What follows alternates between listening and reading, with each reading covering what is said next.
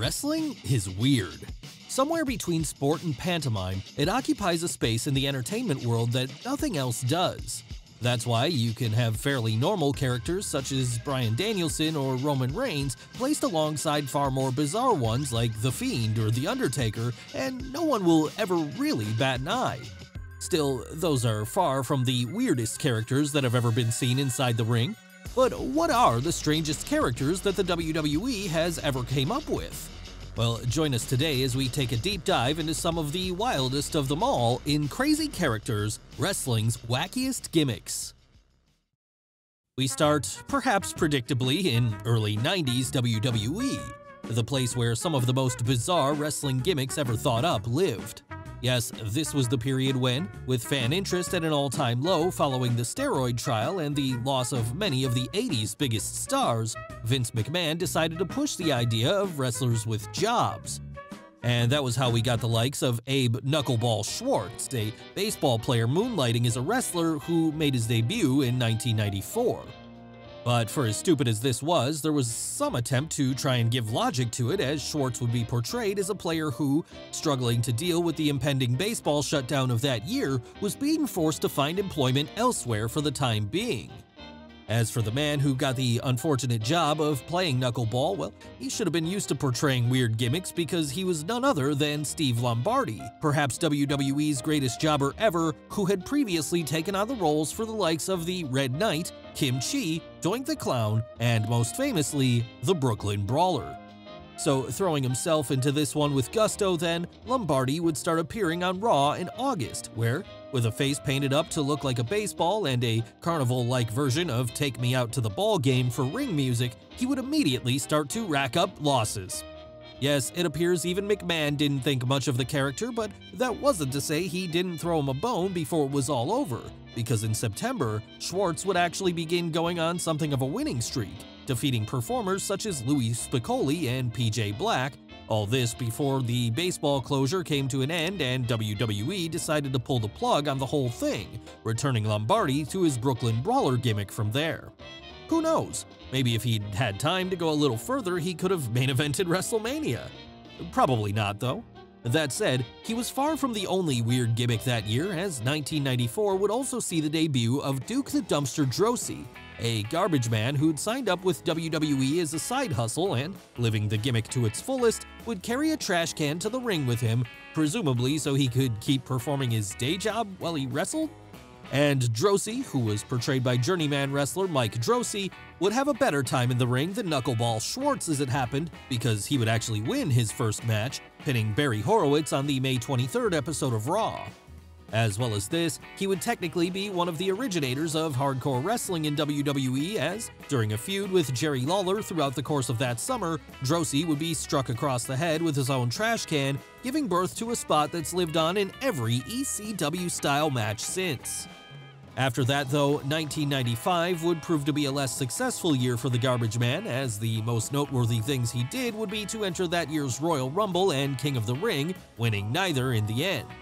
It wouldn't be until 1996, in fact, that he got something to sink his teeth into once more when he handed Hunter Hearst Helmsley his first loss in WWE after beating him by disqualification at that year's Royal Rumble, with this victory securing him the number 30 spot in the Rumble itself later that night. And while he would still fail to win that match, he would continue to feud with Helmsley for the next few months, at one point even facing him in a hair versus hair match where he would ultimately lose and be forced to shave off his locks. That, however, would be the end of the road for his run, as during the summer of 96, Droese would be released from his contract after deciding he couldn't keep up with the company's road schedule, with him disappearing from WWE TV from there, all the way up until WrestleMania 17, at which point he would return to take part in the infamous Gimmick Battle Royal. And of course, the man who eliminated him on that night was no stranger to 90s WWE either, because he was arguably the most memorable weird gimmick of the whole era, one who would be played by multiple people across his run, Doink the Clown. Yes, lots of kids are scared of clowns, so it only makes sense then to try and make a villain out of one. Look at the Joker after all, one of the most successful villains in all of fiction.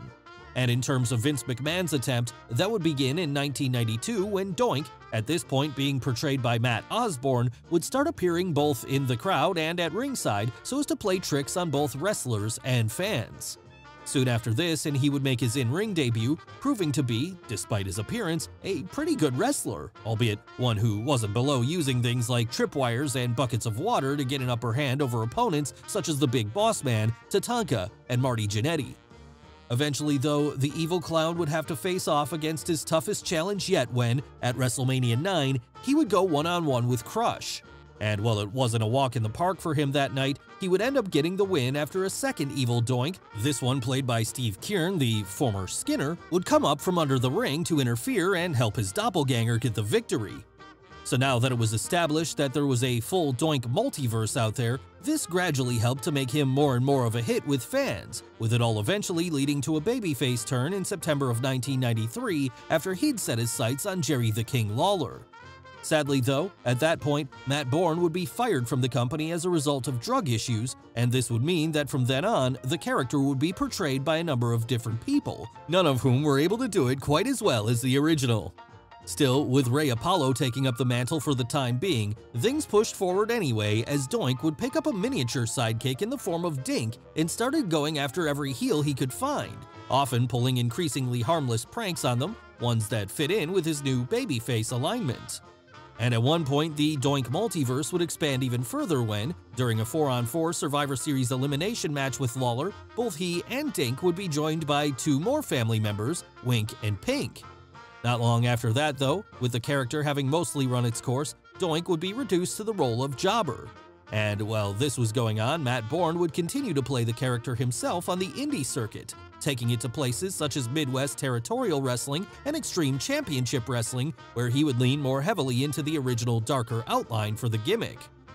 As for WWE though, when Doink eventually did return at the previously mentioned Gimmick Battle Royal at WrestleMania 17, he would again be portrayed by Ray Apollo. That said, Osborne would get to make one more appearance as the character in its original home in 2007, as it was on December 10th of that year that he would put on the clown makeup to take part in a battle royal on the Raw 15th anniversary episode. And since then, he's been brought back occasionally, usually being played by another wrestler like Chris Jericho, disguising themselves so as to get one up on their opponent. As for Matt Osborne, he would actually try to reinvent the character on the indie circuit once more when, in 2010, he would bring it back, this time more heavily based on Heath Ledger's portrayal of the Joker in The Dark Knight. Yes, who would have thought that such a ridiculous gimmick would have such staying power, carrying on for years after it began and still being fondly remembered by many to this day. It's certainly a 180 from some of the other gimmicks of its era, one of which only got to make one on-screen appearance at all before being canned, that being Phantasio. Yes, few will remember Phantasio today, a wrestling mime slash magician who was introduced to audiences on the July 16, 1995 episode of Wrestling Challenge. And here, in his solitary showing, the character, portrayed by Harry Del Rios, would wear a black and white mime mask to the ring which, when removed, revealed identical face paint underneath.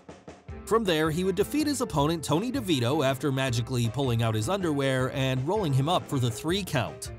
Yes, it wasn't exactly a gimmick with a lot of potential, and so it's probably for the best that it was dropped after this. But at least Phantasio got to have a match at all, because for some other weird gimmicks, they never even got this much. And of course, we're talking about one of the most infamous of them all here, the Gobbledygooker. Ah yes, the Gobbledygooker, hated, mocked, vilified. Outside of maybe the Shockmaster, there's never been a gimmick that debuted with such a wet fart. Of course, most of you know the story already, in the lead up to the 1990 Survivor Series, WWE had been hyping up the hatching of a giant egg, with fans at the time speculating on what was going to be inside. Perhaps it would be Ric Flair, perhaps it would be Sting. Hell, The Undertaker, who would debut on that very same show, feared that it would be him at one point. In the end, though, it would be Hector Guerrero in a poorly made turkey costume who, after emerging, immediately began making turkey noises as Mean Gene Okerlund tried his best to salvage the whole disaster by dancing in the ring with him for a while. The live audience, however, were having none of this and so would boo the whole thing out of the building, with even the commentary team featuring Rowdy Roddy Piper and Gorilla Monsoon mocking it as it was happening. So you would think that after such an inauspicious debut, Vince McMahon would learn his lesson and pull the character, but things actually got worse from there as, while continuing to tour with the company in the weeks following, the Gooker would suffer another gaffe when, at a house show in Madison Square Garden, he would fall over trying to perform a handspring, with this only drawing further ire from the notoriously difficult to please New York crowd.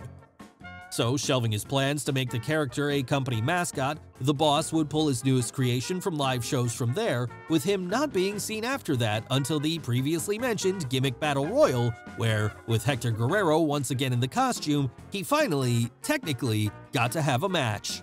Since then, he's even returned for a few random cameos over the years, usually to mock how bad the idea had been in the first place. And one person who played him during this time was actually another notoriously weird gimmick the Boogeyman. Yes, the Boogeyman stands out in particular because by the time he came around, it was a different era for WWE, one which placed a far heavier focus on athleticism and more realistic gimmicks.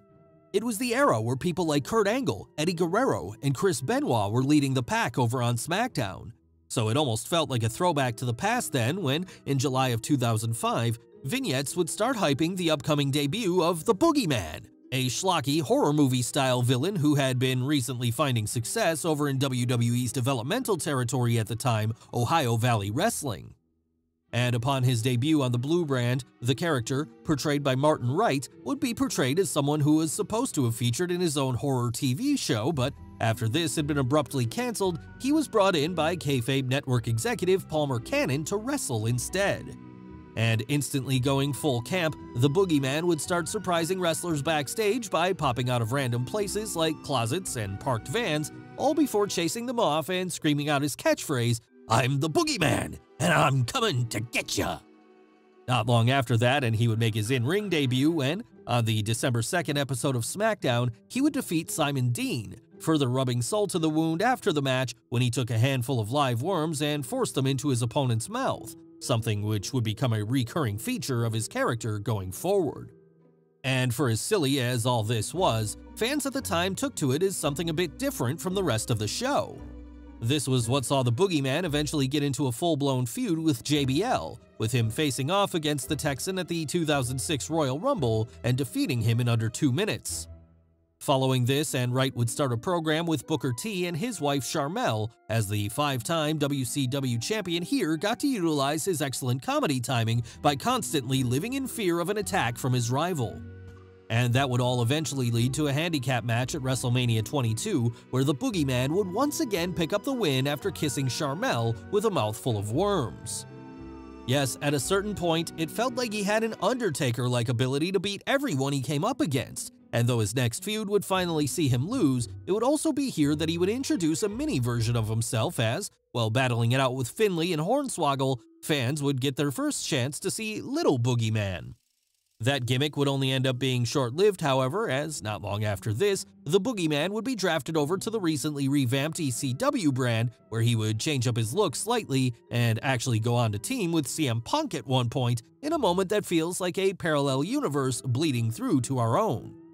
Come 2009, though, the character would have run its course in WWE, and Wright would be released from his contract, with him from there taking it over to the indie circuit for the next few years, all before making a cameo return to WWE at the 2012 Slammy Awards.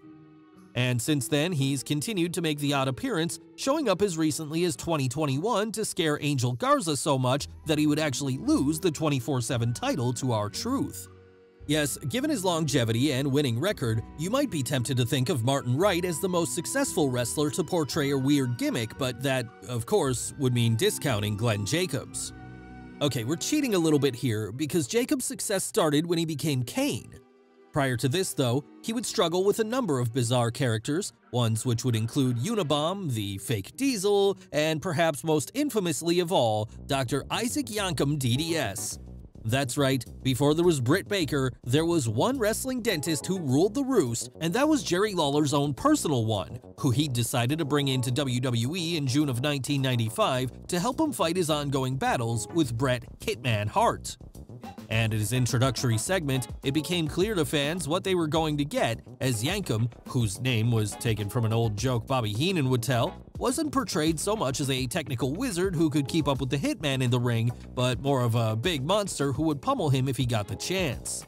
And while Glenn Jacobs certainly was a big guy, even he wasn't able to save this gimmick from being dead on arrival as, during a Superstars taping on August 15th of that year, he would lose to Hart by countout in his in-ring debut. So, hoping to recover some momentum then, Lawler's Monster would square off against Hart again at that month's SummerSlam. Here, though, he would fail once more, this time losing by disqualification after he'd hung his opponent from the top and middle ropes and refused to release him. Yes, it wasn't a good start for what was supposed to be a dominating giant, but he would get one more chance to redeem himself on the October 16th episode of Raw when he faced off against the Hitman one more time, this time in a steel cage match. Unfortunately, though, this would see him rack up his third straight loss to Bret. After that, there was no hope for him, and while he would limp on for a while, Isaac Yankem's days in WWE would be numbered as, after picking up notable losses to the likes of The Undertaker, Jake the Snake Roberts, Marc Mero, and The Ultimate Warrior, the gimmick would be retired in September of the following year. But he wouldn't be the only failed gimmick that was retired around that time as, elsewhere on the show, Mike Halac had been having difficulties in trying to bring a mythical figure of Greek lore into the world of wrestling as he'd been busy portraying Mantaur. Half man, half bull, or in reality, all man in a poorly made costume bull's head in what has to be one of the stupidest gimmicks in the history of the industry. Yes, while it was supposed to be imposing, when Mantaur made his debut on the January 7, 1995 episode of Superstars of Wrestling, fans couldn't help but laugh as he walked down to the ring with an oversized bull's head perched on top of his shoulders, one that was so large and unwieldy he couldn't actually get through the ropes without first taking it off. And while this meant a small mercy in that he wouldn't be forced to wrestle with it on, the image of a slightly schlubby guy mooing at and attempting to trample his opponents from there looked just about as ridiculous to the audience watching. That said, WWE clearly wanted to make the gimmick work, as they would go as far as to assign Jim Cornette to be his manager, hoping that the Louisville native could use his verbal skills to get the whole thing over. In the end, though, even Cornette couldn't talk that well, and despite going on a small winning streak over a series of enhancement talents in the weeks that followed, Mantaur would soon come up against the Intercontinental Champion at the time, Razor Ramon, losing to him there after Jeff Jarrett got involved. After that, Mantaur entered the 1995 Royal Rumble and actually managed to last a full 9 minutes before getting eliminated. But this would end up being a career highlight for him sadly as, from there, the purported Minotaur would lose to the likes of Bret Hart, Bob Sparkplug Holly, and Bam Bam Bigelow before the whole thing was dropped that summer. Yes, the mid-90s really felt like a terrible time for failed wrestlers with jobs gimmicks that would, at some point during the run, job to the hitman. But there are a couple more that came before that, with perhaps the most notable of these two being the Repo Man, a, well, a repo man who would repossess the property of babyfaces after claiming they'd been unable to make their loan repayments quickly enough. And this character was actually played by Barry Darsow, someone who had previously found fame in WWE as Smash, one half of Demolition. This new gimmick, though, would be met with less success as, wearing a ridiculous Zorro mask and jacket with tire marks on it that suggested he'd actually been run over while trying to repossess something, he would play the whole thing like he was a villain in the 60s Batman TV show. And shortly after his debut in late 1991, the Repo Man would be hired by Ted DiBiase to get his million dollar belt back from Virgil, something which he ultimately succeeded in doing as, from there, he would next start a feud with the British Bulldog, that saw him controversially hang his opponent from the ropes with a tow rope at one point. After that, he would move on to a lighter, more comedic program when he stole the Macho Man's hat, with the suggestion here being that the former WWE champion had bought his headwear on finance. Regardless of his financial situation, though, Savage would get his revenge when he eliminated the Repo Man at the 1993 Royal Rumble, with the gimmick being dropped soon thereafter. But as we said, there's one more notable wacky gimmick that appeared around this time as, in the August of 1992, fans had also been introduced to Max Moon, a wrestling spaceman? Uh, alien? We're still not quite sure to be honest, and what made this one notable was that originally, it was meant to be played by legendary Lucha Libre star Konnan. That was until, after a disagreement with management about how he would be portrayed, Konnan decided to cut bait, leaving WWE to have to scramble to find a replacement in the form of Paul Diamond, a Croatian journeyman wrestler who had worked around the territory system for years prior to that. And while we're sure he was great in his prior roles, it was hard for anyone to get Max Moon over as a serious threat, adorned as he was in ring gear that was supposed to make him look like Tron, but ended up making him more closely resemble the intro to Saved by the Bell. As well as this, his ring entrance would see him wear not only a jetpack, but two wrist devices that shot out fireworks too, in a pretty unintimidating move. And to make matters worse, when the bell rang, despite picking up a couple of disqualification wins over the likes of Rick Martel, his most notable moment would come when he lost to Shawn Michaels on the debut episode of Monday Night Raw, with his time drawing to a close soon after that, as by February of 1993, the gimmick would be mercifully dropped. Yes, it seems that not all gimmicks are created equal after all. But while some of the weirder ones we've looked at today weren't exactly what you would call a success, it's hard to argue that ones like Doink the Clown and the Boogeyman didn't exceed expectations, with this proving that there are no bad parts for an actor, and that it's all really about what you do with the role you're given, even if that role is Buzz Lightyear? Seriously, what was Max Moon? Well guys, what did you think of the video? Let us know in the comments below. Don't forget to smash the like button, subscribe to the channel, as well as follow Wrestle with Andy on Instagram and Twitter. Thanks for watching, and we'll see you next time.